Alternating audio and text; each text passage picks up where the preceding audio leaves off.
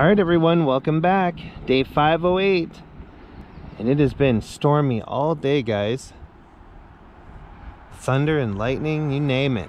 But I hope you're having a great day. And don't forget to get out and get your steps in.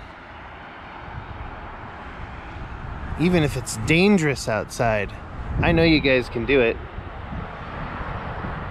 I'll try to set up the time lapse and maybe we'll get some thunder and lightning for you guys to watch. That should be cool. But I have no idea what it's gonna do. It might fry the camera. I have no idea. But we're gonna give it a shot. And I'll see you guys tomorrow. We'll do it again.